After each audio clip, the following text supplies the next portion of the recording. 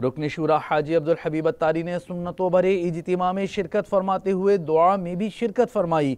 एक बड़ा सुन्नतों भरा इजतिमा मुलासा कीजिए खातून जन्नत पार्क, हुसैनाबाद, बाबुल मदीना, कराची, पाकिस्तान का।